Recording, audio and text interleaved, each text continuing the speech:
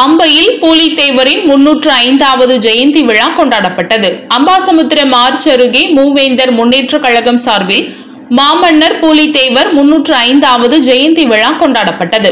இதில் பூலித்தேவரின் திருவுருவ படத்திற்கு மாலை அணிவித்து இனிப்பு வழங்கினர்.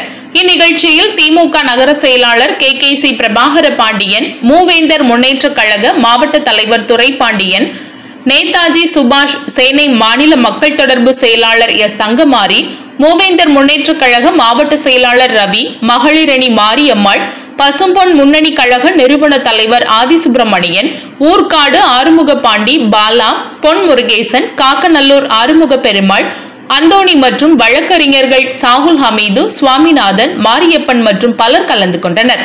மேலும் நமது நிருபர்களுக்கு பேட்டி அளித்துள்ளனர். மாமன்னர் புலித்தேர் அவர்களின் முன்னூற்றி அஞ்சாவது ஜெயந்தி விழா இன்று அம்பாசமுத்திரம் பசுமன் திராவிட முன்னேற்ற கழகத்தின் சார்பாக பசுமன் தேசிய கழகத்தின் சார்பாக துரைப்பாண்டியன் மூவைந்த முன்னேற்ற கழகத்தின் சார்பாக நேதாஜி பாசனை நேதாஜி சுபாஷ் பாசறை மற்றும் தேவர் சமுதாய பெருமக்கள் திராவிட முன்னேற்றத்தின் சார்பாக வழக்கறிஞர் சுவாமிநாதன் வழக்கறிஞர் சாகுல் ஹமீது ஆறுமுக பாண்டியன் வாடிக்கையாளர்கள் மற்றும் மகளிரணி சார்ந்த மாரியம்மா மாரியம்மாள் அவர்கள்.